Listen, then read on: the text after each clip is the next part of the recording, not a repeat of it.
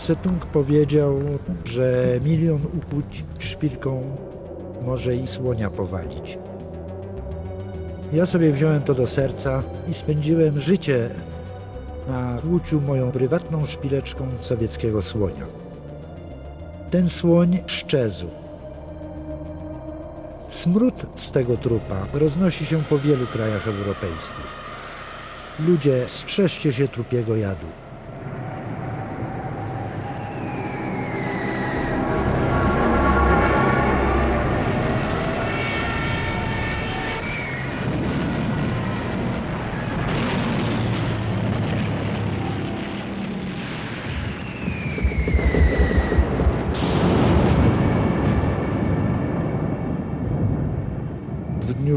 Wojny miałem lat 7.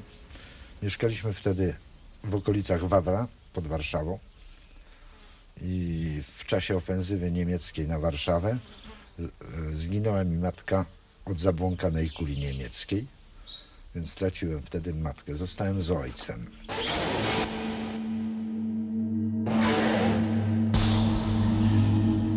Ojciec zostawił mnie w piwnicy między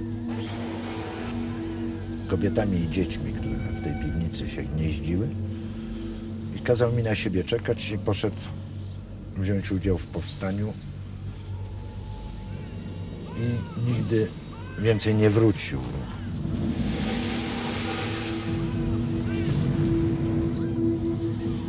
Miałem wtedy 12 lat. Ojciec był dla mnie bardzo ważną postacią.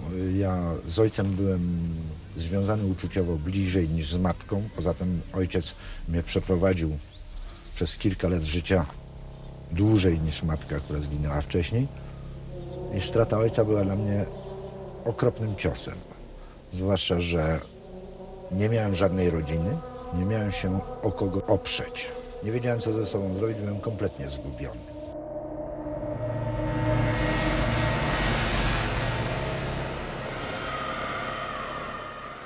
Włócząc się w okolicach Warszawy, natrafiałem często na oddziały rosyjskie. To było dla mnie bardzo silne zderzenie z jakąś inną formą cywilizacji, zupełnie niezrozumiałą dla mnie.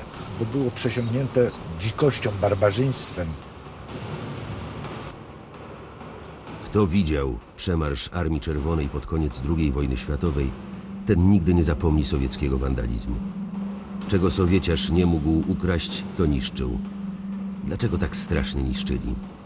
Czyżby pchała ich do tego zazdrość, że ktoś mógł żyć w warunkach, jakie oni, obywatele przodującego kraju, widywali tylko w kinie? A może jest to natura sowieckiego człowieka napędzanego wódką? Nie wiem. Ale barbarzyństwo sowieckie pamiętam. Dla mnie to było bardzo dziwne. Potem, będąc już w krajach tak zwanych dzikich, porównywałem, porównywałem zachowywanie się dzikusów autentycznych w dżungli w porównaniu e, z tym e, tłumem tej, tej soldateski sowieckiej. I zauważyłem, że rządza niszczenia cudzego dobytku u prawdziwych dzikusów nie istnieje. A tam ona była na każdym kroku.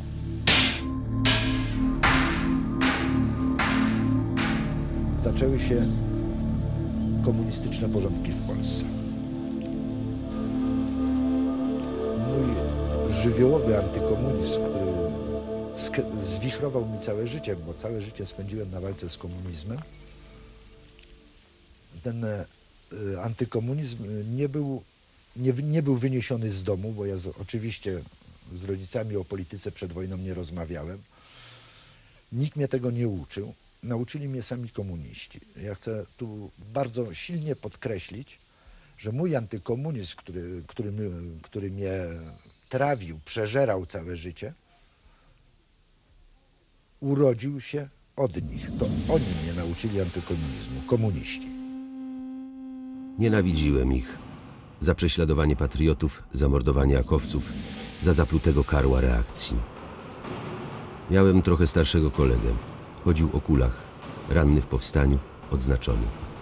Gdy zgłosił się do odpowiedniej instytucji z prośbą o stypendium jako sierota i inwalida, czerwony urzędnik zrzucił go ze schodów, wyzywając od bandytów. Jego, kalekę, bohatera.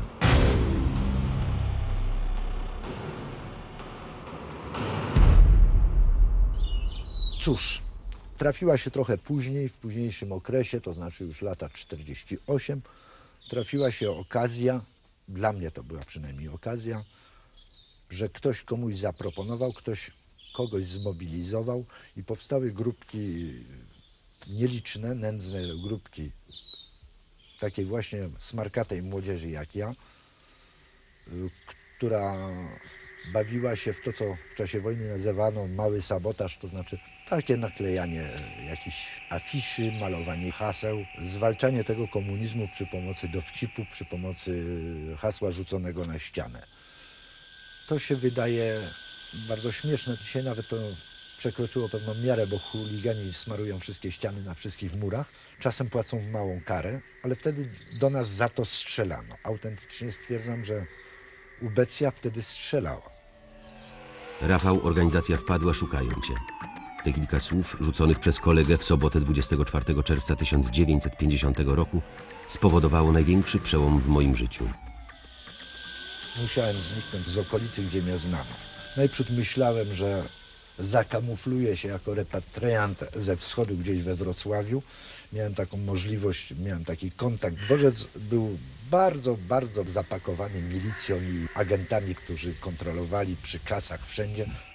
Więc ja się w tym tłumie wślizgnąłem na perony i naprzeciw pociągu wrocławskiego zauważyłem, że stoi pociąg, który ma odejść za godzinę według rozkładu jazdy do Berlina.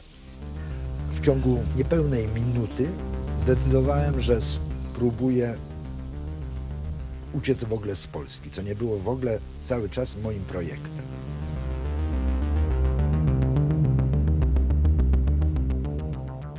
Zacząłem szukać miejsca, gdzie się ukryć w wagonie. Nie znalazłem żadnej skrytki, więc wyszedłem na międzytorze z drugiej strony i zacząłem szukać pod wagonem. Ja zauważyłem, że między podłogą wagonu a tym wózkiem było tyle miejsca, że szczupły chłopak może się wcisnąć. To był tylny wózek wagonu, ja się wcisnąłem w ten sposób, że nogi miałem skierowane w kierunku ruchu, a głowę do tyłu i czekam.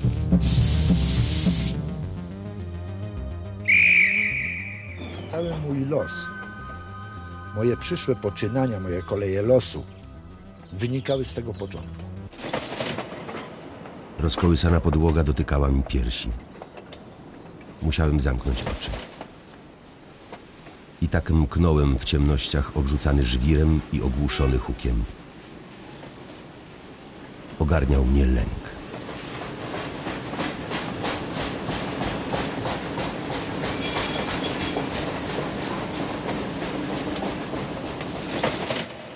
W miarę tej zwariowanej podróży zacząłem myśleć o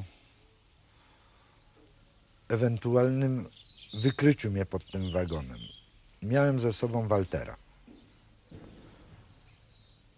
Miałem ze sobą Waltera i postanowiłem, że żywy w żadnym wypadku w te łapy się nie oddam, bo zbyt dobrze wiedziałem, jak potrafiono katować ludzi w ubeckich e, więzieniach.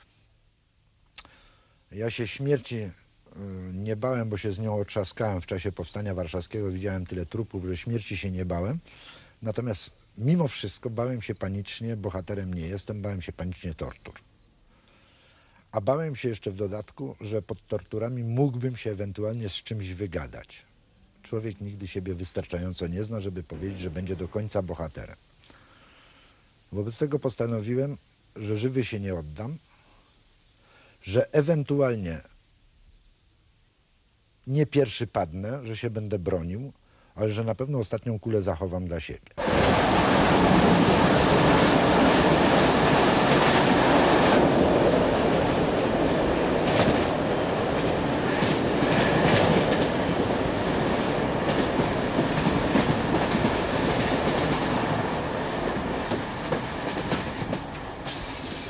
Dojechaliśmy do Poznania.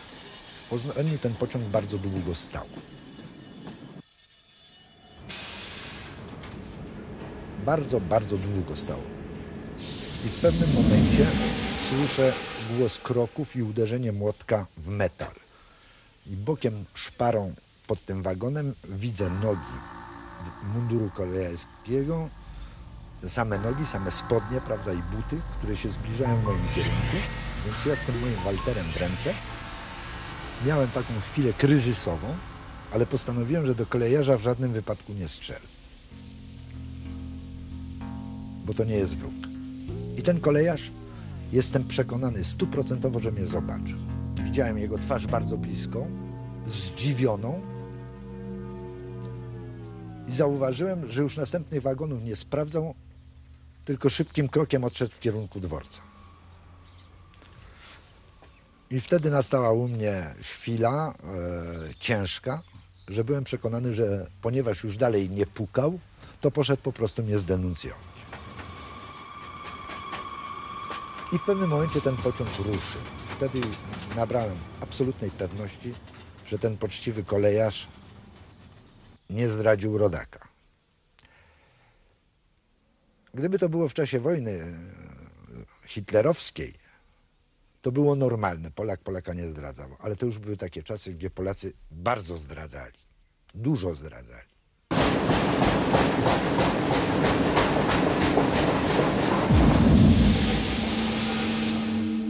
Cała ta podróż trwała 24 godziny. Znalazłem się w Berlinie Wschodnim, który wtedy leżał w gruzach. Zacząłem iść w dowolnym kierunku, nie wiedząc, gdzie ja znajdę zachodnie sektory. Nie wiedziałem, w którą stronę iść, więc postanowiłem, że będę szedł w jednym kierunku dostatecznie długo. Jeśli po jakimś czasie nie wpadnę na sektor zachodni, no to się wycofam, będę szedł w przeciwnym kierunku. W pewnym momencie w jakiejś ulicy bocznej zauważyłem sklepik, gdzie wystawione były kosze z pomarańczami na stoiskach przed sklepem.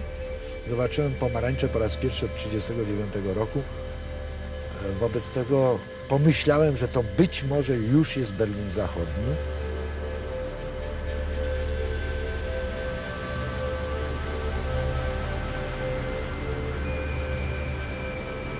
To była niedziela. Ten komisariat był pusty. Było w nim trzech policjantów niemieckich. Pokazałem na siebie palcem, że jestem Polnisz i, i dalej nic. Więc oni również na migi coś tam szwargocąc po niemiecku, ale na migi dali mi do zrozumienia, żebym wypróżnił kieszenie. Przypuszczalnie chodziło im o papiery jakieś. No ja papierów nie miałem, bo je podarłem pod pociągiem, ale jak im wypróżniłem moją, tam wyciągnąłem jakiś ołówek, e, chusteczkę do nosa, to sobie przypomniałem, że pod marynarką, za pasem od spodni miałem pistolet. Więc e, taka zabawna historia, że ja zupełnie z całą niewinnością ten pistolet wyciągam spod marynarki i Niemcy skoczyli, prawda, do kabur i gwałtownie zaczęli odpinać kabury, żeby, bo się bali, że to jakiś zamach. Ja ten pistolet po wyciągnięciu podałem im grzecznie w ten sposób, więc oni się natychmiast uspokoili, zabrali ten pistolet, schowali do szuflady, wsadzili mnie do samochodu, gdzieś przewieźli przez miasto, ja ciekawie wyglądałem na lewo, na prawo, zawieźli do jakiegoś takiego wielkiego budynku ceglanego, o takich małych, zakratowanych oknach. Na hotel to nie wyglądało, raczej na więzienie. Potem się dowiedziałem, że to był ten słynny Moabit, w którym tylu ludzi cierpiało za hitlerowskich czasów. I zapadła noc. Więc pierwszą noc na wolności spędziłem w więzieniu.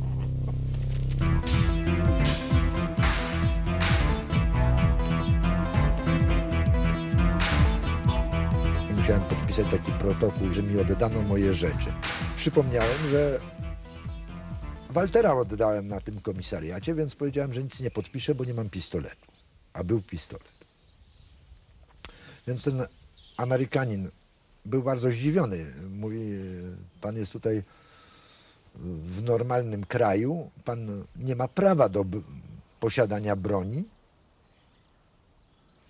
Wobec tego nie powinien się pan o to upominać. Ja mu wtedy wytłumaczyłem, że to jest pistolet, który według tego, co ja wiem, służył w polskiej partyzance i ja go Niemcom nie dam, bo mam sentyment do tego pistoletu, mogę jem, jemu to oddać. I tak się uparłem, że on rzeczywiście telefonował do tego komisariatu, rzeczywiście ten pistolet przywieźli i rzeczywiście Amerykanin wsadził go do, w kieszeń. No i oczywiście przypuszczam, że go do dzisiaj ma na pamiątkę. Piliśmy spirytus apteczny. Nocne rozmowy ludzi z nienormalnego państwa, żołnierzy z obozu zwycięzców, w obozie kierowanym przez zwyciężonych. Byłem najmłodszy. Od nich czerpałem naukę o Polsce i świecie, jakiej nie dałaby mi żadna szkoła. Była to szkoła goryczy i tłumionej żądzy zemsty. 99 chyba procent uchodźców polskich przechodzących przez Berlin wybierało tą samą drogę, to znaczy szło do oddziałów wartowniczych przy armii amerykańskiej. W tych oddziałach wartowniczych spędziłem szereg lat. Szedłem do tych oddziałów wartowniczych, to święta młoda naiwności. Myślałem, że to jest zaczątek nowych legionów Dębrowskiego, że Amerykanie szykują jakąś polską armię na obczyźnie, że to jest pod autorytetem generała Andersa, że nas będą uczyć, jak z powrotem e, komunistów z Polski wyganiać. A to była zwykła półcywilna służba wartownicza, stróże nocni. To jedno rozczarowanie. Drugie rozczarowanie było znowu tym elementem takim trochę pijacko-chuligańskim, trochę zdemoralizowanym przez wojnę. Także się najlepiej nie czułem, zwłaszcza, że było to w Niemczech. Ja wtedy jeszcze bardzo miałem do Niemców duże pretensje, więc postarałem się o wyjazd w ramach tych oddziałów wartowniczych do Francji.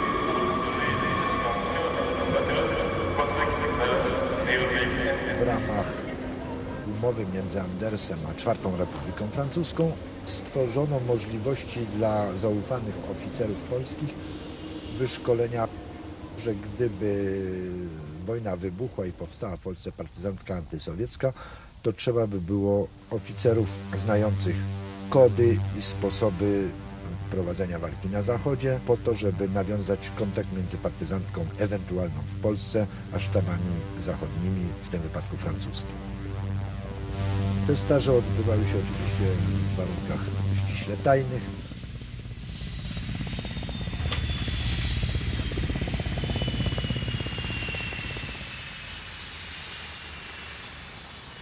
Trwało to lat kilka, ale zacząłem wątpić, czy kiedykolwiek ja się przydam. Zacząłem wątpić, czy dojdzie do jakiejś wojny. Mimo, że ta zimna wojna raz była, raz jej nie było, ale ja wątpiłem. Na powrót do Polski nie liczyłem z dwóch przyczyn. Pierwsza przyczyna, że jeszcze w obozie dla uchodźców w Berlinie oficer wywiadu amerykańskiego mnie poinformował, jakobym dostał wyrok śmierci zaoczny na skutek znalezienia u mnie w mieszkaniu w Warszawie broni po mojej ucieczce. To była jedna przyczyna, że nie myślałem, nie mogłem nawet myśleć o powrocie do Polski y, w- ramach systemu komunistycznego. A druga przyczyna była, że przestałem wierzyć, że ten system upadnie w najbliższych dniach. Ja brałem sprawę mojego uchodźstwa politycznego bardzo poważnie. Ja mm, chciałem wobec siebie mieć świadomość, że jestem naprawdę uchodźcą politycznym, a nie zarobkowym.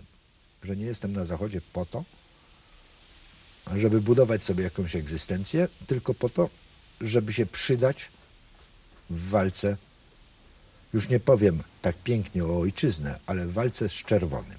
Bo jak już wspominałem, nienawiść do czerwonego, do komunizmu mnie żarła przez ten cały czas i wobec tego zacząłem szukać sposobu, jak walczyć z czerwonym, kiedy nie ma możliwości walki zbrojnej. Jeśli najemnik jest w stosunku do żołnierza tym, czym prostytutka w stosunku do kochanki, to autentycznych najemników myślę nie było. Ci żołnierze nie sprzedawali się ani każdemu, kto zapłacił, ani nawet temu, kto płacił najwięcej. Wtedy czułem to instynktownie. Otóż po kilku latach otworzyła się taka możliwość, kiedy gazety francuskie, telewizja francuska, radio zaczęły informować o udziale najemników wojnie w Kongo, gdzie rząd kongijski zwalczał rewolucję, która była inspirowana częściowo przez Rosję sowiecką, trochę przez Chiny. Jak się dowiedziałem, że tam walczą z komuną, postanowiłem się do tego przyłączyć. Czy moi koledzy wspominali Wietnam czy wojnę w Algierii? Nie wiedziałem. Psy wojny? Na pewno. Wojna była ich żywiołem, narkotykiem. Czułem, że tych weteranów zapomnianych wojen łączy coś, co dla mnie nie jest jeszcze dostępne. Zazdrościłem im. Natychmiast wsiadłem w pociąg, pojechałem do Brukseli i zgłosiłem się do ambasady kongijskiej, gdzie takich jak ja spotkałem więcej i gdzie mnie przyjęto.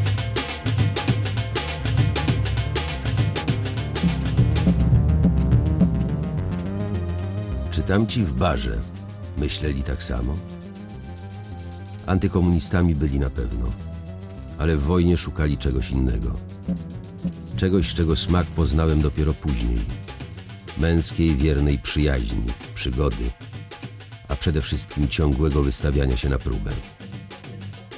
Przekonałem się później, jakim rajem wydaje się życie, gdy przejdzie się przez płomień piekła jaką żądzę czuje ten, kto ociera się o śmierć, jak smakuje szklanka whisky spłukująca smak potu lub krwi, narkotyk wojny. Ja miałem spory kompleks tego, czy ja się sprawdzę, czy ja będę oficerem. Bo nie sztuka wywalczyć ten stopień oficerski i tą weryfikację, ale sztuka potem nie nawalić. A póki człowiek czegoś nie zrobi, to nie może być pewien siebie. Ja się najwięcej bałem tego, że się będę bał. Bałem się, że się będę bał. Bałem się, że e, na froncie nie byłem nigdy, więc bałem się, że jak kule zaczną gwizdać, jak ja się zachowam. Postanowiłem oczywiście jak najlepiej, ale człowiek sam siebie nie zna. Drugi mój problem to był, że zgłosiłem się tam po to, żeby walczyć z czerwonym. Nie wiedziałem, jakie formy ta walka przybierze, na czym polega ta wojna w Kongo. Wiedziałem tylko z gazet, a wiadomo, dziennikarze piszą rzeczy malownicze, ale niezasadnicze, więc nie wiedziałem, jaki będzie mój los. Zanim ja przybyłem do Stanleyville, to tam się, jak wiadomo, działy straszne rzeczy. Rewolucja komunistyczna w Kongo, rozpoczęta przez Lumumbę i jego współpracowników, była przeszkolona przez Sowietów, w tym sensie, że podchwycili hasła październikowej rewolucji rosyjskiej, kradnij nakradzione, podrzucili to hasło Motłochowi Murzyńskiemu i drugie hasło morduj. Dlaczego morduj? Tego hasła w rewolucji nie było, chociaż mordowali również w październikowej, a tam rzucono hasło morduj białego, bo chcieli przestraszyć tak, żeby nigdy biały tam nie wrócił. Sprowokowali autentyczną rzeź w Stanleyville i okolicy. Mordowano wszystkich białych bez różnicy. Mało bym powiedział, z dziwną różnicą. Im który biały był lepszy, popularniejszy, im bardziej się cieszył uznaniem u ludzi, tym szybciej go likwidowano. W sposób okrutny znęcano się nad księżmi, nad zakonnicami, gwałcono i mordowano kobiety i rozkradano wszystko. Rozkradanie miało cel ten sam co w rewolucji październikowej, że złodziej będzie się bał powrotu policjanta, to znaczy jeśli on już nakradł, to będzie bronił się przed powrotem poprzedniego właściciela, żeby mu tego czasem nie odebrano. To byli zupełnie spokojni murzyni, mieszkańcy Stanleyville, którzy no coś ukradli, a potem się bali, bo biały wrócił i, i może powiesić, bo plotki o nas były straszne, że przychodzimy się mścić, mordować, że będzie rzeź murzynów teraz z kolei, więc panika była straszna. Prawie cała ludność czarna Stanleyville uciekła do lasów, gdzie służyła za bazę z kolei autentycznym oddziałom rewolucyjnym sterowanym przez czerwonych. Naszą rolą było wygasić rebelię komunistyczną przy pomocy wojska katangijskiego.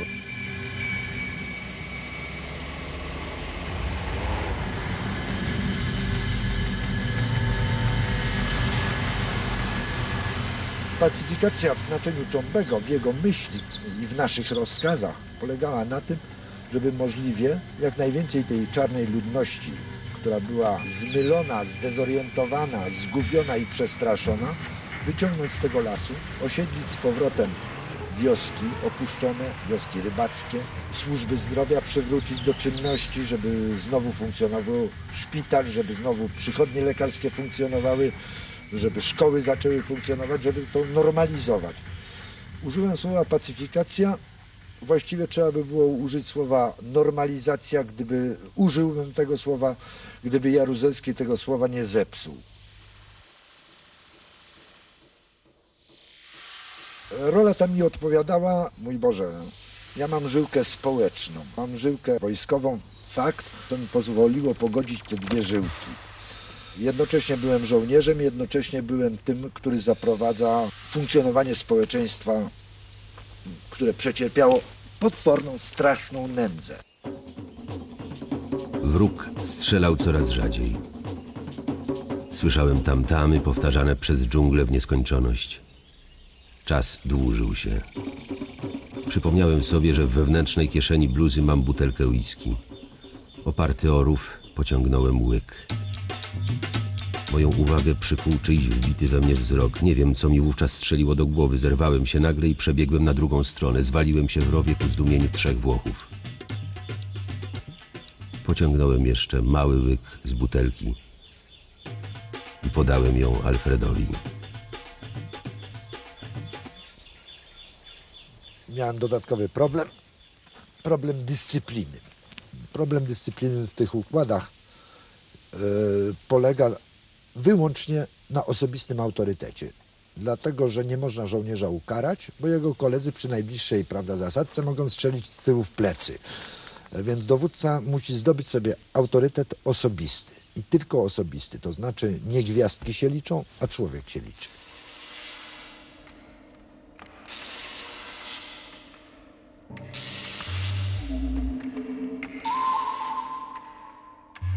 Mój batalion wyglądał nędznie. Tamci mieli wszystko. Mieli kałasznikowy, mieli diaktiariewy, y, mieli broń czeską, mieli środki przeciwpancerne sowieckie i chińskie.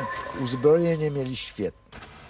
Myśmy zwalczając małe oddziały zdobywali ogromne, ogromne magazyny broni prawie za każdym razem. Ja w sumie zdobyłem 42 tyś- e, tony broni. 42 tony broni, rozbijając może łącznie jakieś jednostki liczące w sumie przez cały okres walk jakieś 2000 ludzi. Mulele maj, mulele maj. Fale oszalałych murzynów szły, biegły, padały, podrywały się znowu, rycząc, strzelając na oślep, zbliżały się niebezpiecznie. Zamontowany na jeepie karabin maszynowy drgał w moich rękach krótkimi seriami. Pot zalewał mi twarz i tylko strasznym, niemal nadludzkim wysiłkiem woli tłumiłem ogarniającą mnie panikę. Bałem się tego strasznego tłumu, który wrzeszcząc szedł na mnie prawie niewidoczny, oszalały, podniecony własnym krzykiem, nieludzki. Nie zagrzać lufy, oszczędzać amunicję, z rozwagą, skutecznie. Z chaszczy wyłaziły nowe tłumy pędzone dźwiękami tamtamów. Mulele maj, mulele maj. Czarna fala nadchodzi, zaraz nas zaleje. Pół taśmy. Wróg już blisko. Już muszę zataczać lufą większy łuk. Taśma się kończy. Śmierć? Oni używali również lokalnej ludności, ale lokalnej w znaczeniu dżungli. Czarownicy plemienni bali się nauczyciela i księdza. Każdy biały to był lekarz, to był mędrzec, to był człowiek, który wszystko wie. Moje czerwone diabły, które były najlepszym wojskiem murzyńskim, też to miały moje diabły, że jak się wysłało do ataku ich samych, to jak zostali ostrzelani, to się wycofywali. Jeśli był z nimi biały, to póki biały szedł do przodu, to oni szli dzielnie za nim, bo uważali, że biały wie, co robi. Ten system powodował, że ci biali byli konieczni. Konieczni byli nie tylko po to, żeby zarządzać tym wojskiem, ale przede wszystkim, żeby dawać przykład. Z tego powodu w ciągu czterech lat walk w Kongo zginęło 500 co wykazuje, że straty były 25% rocznie, wielokrotnie wyższe niż powiedzmy amerykańskie w Wietnamie. Ci e, czarownicy m, posługiwali się zarówno swoim autorytetem e, prawda, zabobonnym, jak również haszyszem. Tym otumaniali tańczących wojowników, doprowadzali ich do stanu absolutnej nieświadomości niebezpieczeństwa. Ci ludzie byli tak oszołomieni narkotykami, że nie widzieli padające obok trupy, nie, zwra- nie, nie zwracali po prostu uwagi, parli naprzód na, na, na murowaną śmierć i walka z nimi była nawet może mniej niebezpieczna niż e, z, wy, e, z wyszkoloną rebelią ale była bardzo nieprzyjemna, dlatego że człowiek miał świadomość, że strzelał do niewinnych ludzi, do zamroczonych, niewinnych ludzi. Byliśmy do tego zmuszeni, ale śmierć tych ludzi, z mojej nawet ręki, obciąża tych, którzy, którzy ich do tego pchali.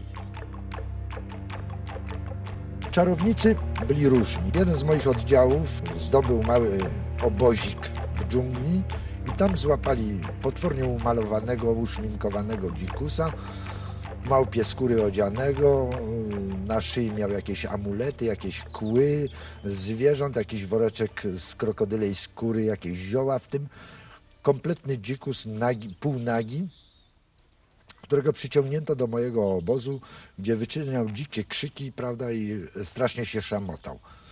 Pod, e, jak kazałem mu zerwać ten amulet z szyi, ten woreczek, w tym woreczku znalazłem bardzo dziwny dokument. Był to dyplom ukończenia Wydziału Medycznego Uniwersytetu w Pradze. Więc miałem jeszcze jeden niezbity dowód, oczywisty dowód, że po pierwsze wykorzystywano stypendia krajów zwanych socjalistycznymi na to, żeby werbować rewolucjonistów na cały świat. Po drugie, chytrość czerwonego polegała na tym, żeby przekształcić ukończonego medyka w czarownika, bo czarownik może wzbudzić większą, większy entuzjazm niż lekarz. I oto człowiek, który się uczył, jak leczyć ludzi, złożył przysięgę Hipokrata. Przyjechał nie tylko zabijać, ale zmuszać innych do zabijania. Od tak się toczą dzieje, o których dzisiaj nic nie wiadomo. I tak się toczyły walki tak zwane wyzwoleńcze w krajach trzeciego świata. Już prawie rok minął, gdy wróciłem z Konga do Europy.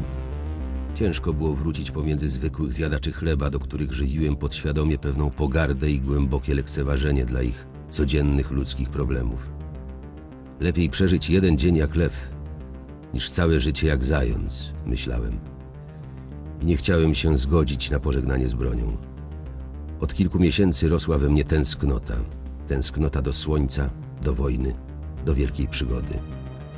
Życie jawiło mi się jako potworny kołowrotek powielanych dni, powielanych w takt rytmu łóżko, metro, praca, metro, łóżko i tak w kółko, aż po horyzont kiepskiej emerytury. Błagałem Boga wojny o jeszcze jedną przygodę. Wróciwszy do cywila, miałem taki bilans bardzo pozytywny mojego pobytu z Konga. Po pierwsze, spełniło się moje marzenie walki z czerwonym.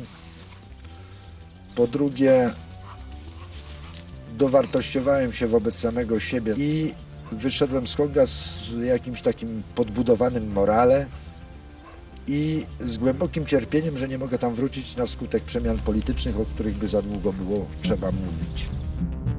Drzwi Berbanta otworzyły się. Weszło dwóch mężczyzn. Jednego z nich znałem dobrze, był to mój stary znajomy z Kongo. Gdy tak szli przez knajpę opaleni pewni siebie o charakterystycznych niemal kocich ruchach, knajpiani bywalcy rozstępowali się przed nimi. Poderwałem się z krzesła na powitanie.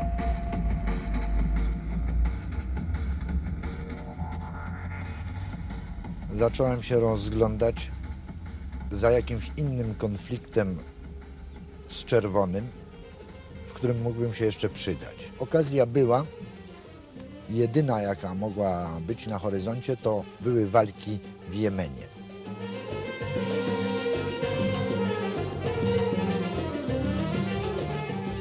Znalazłem się w Jemenie w najodpowiedniejszym momencie, mianowicie wtedy, kiedy doradcy sowieccy rozdzielili się na dwie grupy. Jedna urzędowała w Sanie, a druga w porcie Hodejda na Morzu Czerwonym, gdzie szykowali sobie bazę dla marynarki sowieckiej.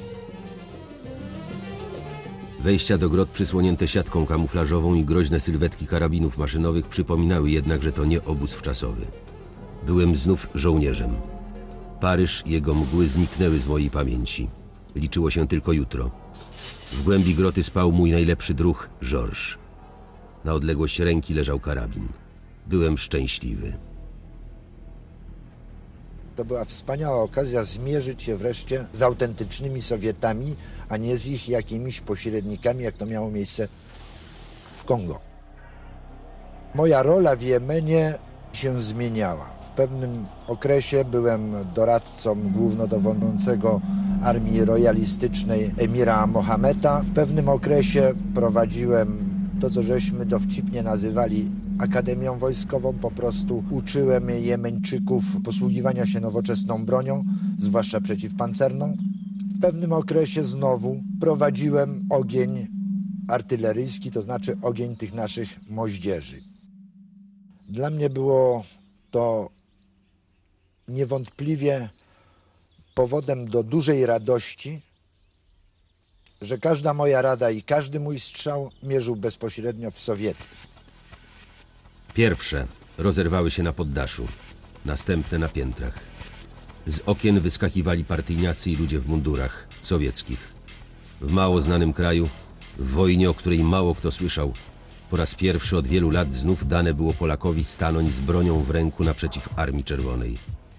Koledzy dziwili się, że wsłuchiwałem się w wycie Katiusz z uśmiechem i że drżały mi ręce trzymające lornetkę. Dajcie mu spokój, powiedział Georges. On tu ma swoje osobiste porachunki. Wstrzelałem się w tą aleję i przejechałem się moździerzem po wszystkich budynkach, obdzielając zarówno ambasady wschodnie, jak i zachodnie, bo uważałem, że ambasady zachodnie pospieszyły się zanadto z uznaniem czerwonego reżimu. W, gdy wstrzelałem się w ambasadę sowiecką, to utrzymałem ogień ciągły przez dłuższy czas, żeby być pewny, że to gniazdo złodziei będzie zniszczone do gruntu. Na drugi dzień radio podało, że personel, personele dyplomatyczne opuszczają Sanę. Była to dla mnie ogromna satysfakcja. Czerwona zaraza zabija. Zabija ciało, gdy nie może zabić ducha. Szliśmy przez spalone wioski. Sowieci stosowali tu już wtedy ludobójcze metody, które po latach obrócili przeciwko Afganom i Czeczenom. Ich lotnictwo atakowało bezlitośnie każde skupisko ludzkie. W niszczonych rakietami i bombami wioskach ginęły kobiety i dzieci. Płonęły skromne zbiory, odpalane napalmem, ginęły stada bydła i baranów masakrowane z rozmysłem przez sowieckich pilotów. Ta wojna przeciw bezbronnym nie była objawem szczególnego sadyzmu czy zezwierzęcenia doradców. Były to zimne, planowane w Moskwie zasady prowadzenia wojny.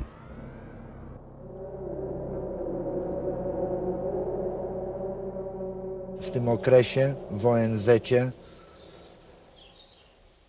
były duże naciski na Arabię Saudyjską, żeby przestała używać obcych najemników, płacić obcym najemnikom do walk w Jemenie.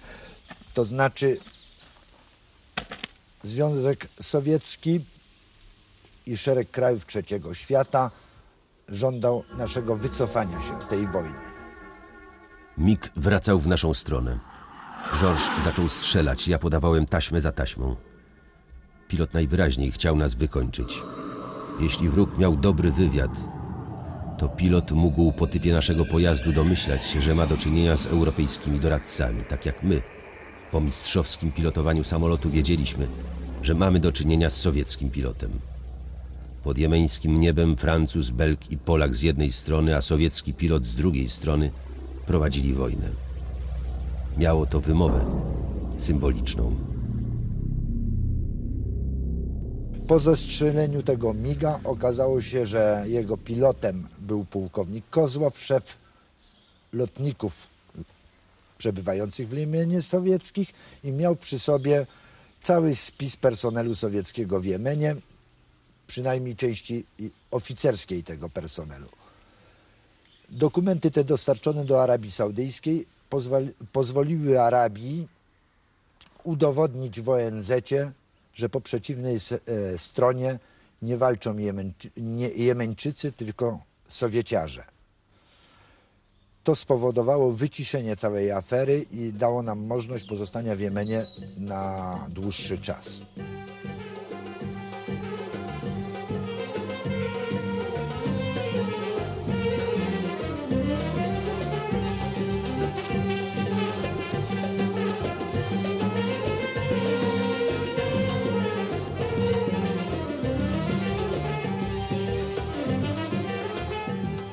Ta wojna się skończyła w sposób dla Czerwonego nieprzychylny. Sowieci nigdy bazy w Chodejdzie nie otrzymali i musieli się stamtąd wynieść. To jest dla mnie członka narodu, który we wszystkich wojnach przegrywał w ten czy w inny sposób, pewien sukces.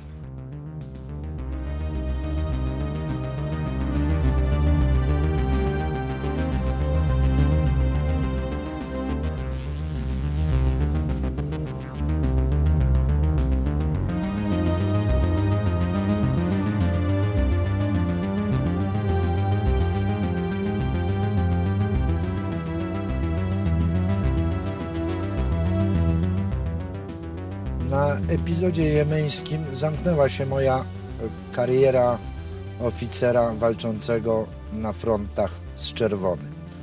Zamknęła się e, nie dlatego, że chciałem, bo i okazje były, i chęci dużo, ale po rozwodzie musiałem się zająć dorastającą córką i ze względów rodzinnych wyszedłem z obiegu najemniczego.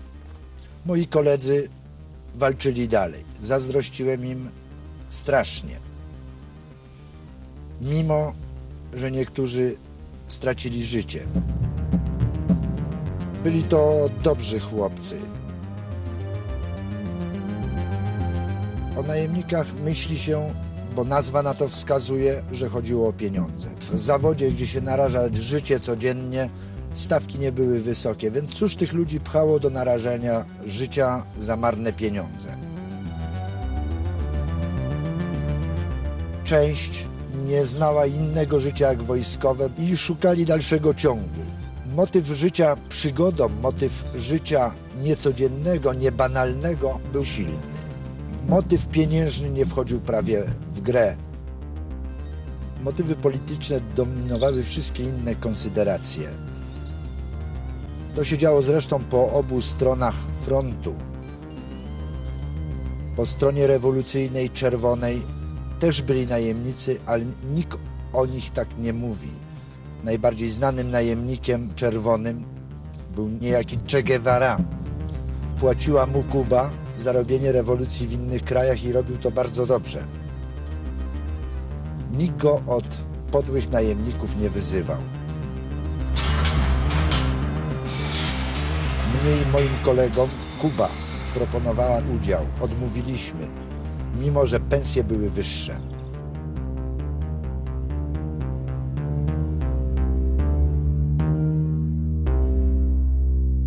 Przeciętnemu słuchaczowi europejskiemu słowo wojna kojarzy się z koszmarem.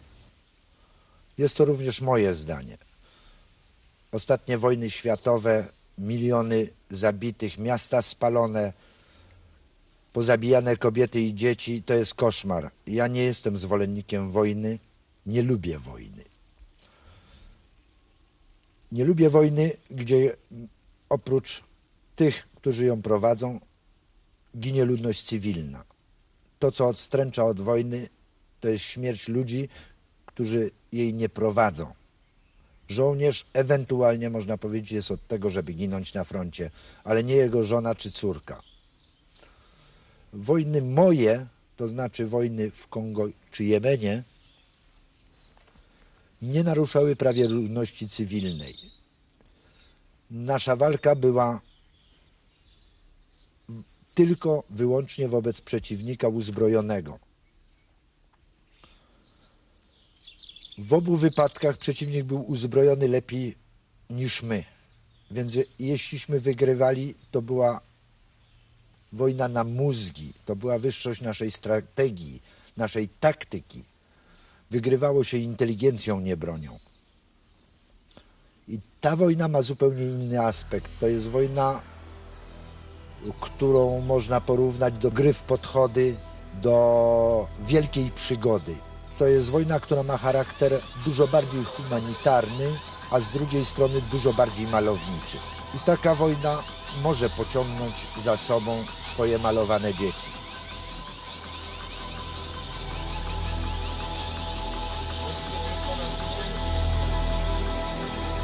W 1985 chyba roku zacząłem pracować w Radio Wolna Europa. Radio Wolna Europa yy, nie chciała, żebym występował pod własnym nazwiskiem, żeby nie dawać okazji generałowi Kiszczakowi krzyczenia, że oto najemnik pracuje w wolnej Europie. Występowałem więc przez cały szereg lat jako Jerzy Rawicz.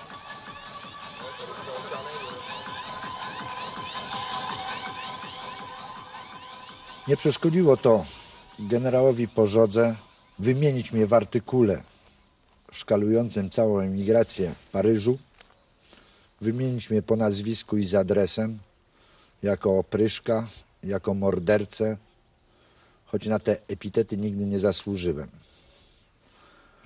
Ale mu zawdzięczam jedną przyjemność. We Francji uchodźca polityczny nie może mieć broni palnej, a ja z sentymentu lubię. Generałowi Pożodze zawdzięczam więc, że władze francuskie zaproponowały mi pozwolenie na posiadanie broni. Od tamtej pory mam ten pistolecik, który bardzo lubię. Także jeśli generał Pożoga mnie usłyszy, to dzięki generale. W wolnej Europie pracowałem szczerze i chętnie. Atmosfera zaczęła się psuć w okolicach okrągłego stołu. Moje opcje polityczne przestały się podobać, a mnie się przestały podobać opcje wolnej Europy. Także mimo, że mi płacili regularnie pensję miesięczną, moja obecność na antenie stawała się coraz rzadsza, a w ostatnim czasie płacili mi za to, żebym nic nie mówił.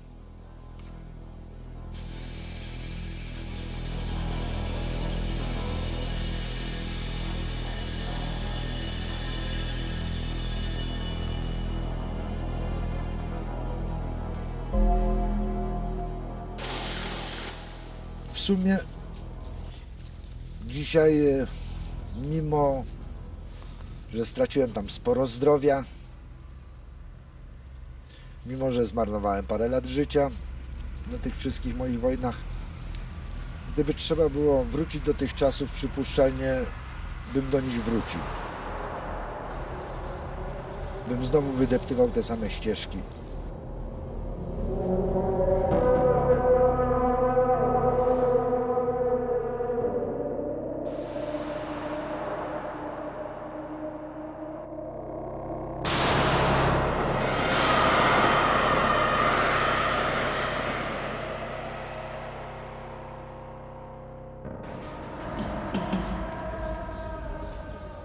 Szluz. Nic więcej nie powiem, nie mam nic do powiedzenia.